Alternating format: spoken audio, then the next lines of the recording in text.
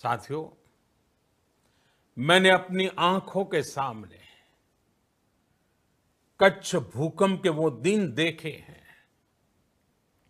हर तरफ़ सिर्फ़ सिर्फ़ मलबा ही मलबा, सब कुछ ध्वस्त हो गया था।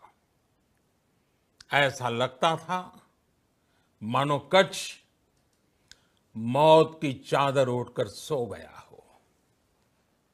उस परिस्थिति में कोई सोच भी नहीं सकता था कि कभी हालत बदल पाएँगे।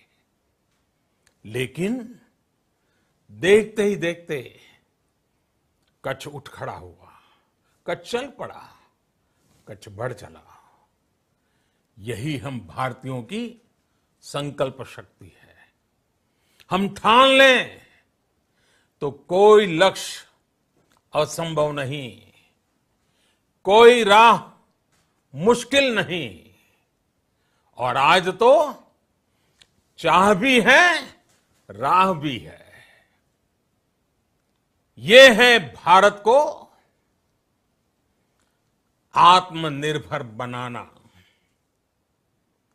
भारत की संकल्प शक्ति ऐसी है कि भारत आत्मनिर्भर बन सकता है।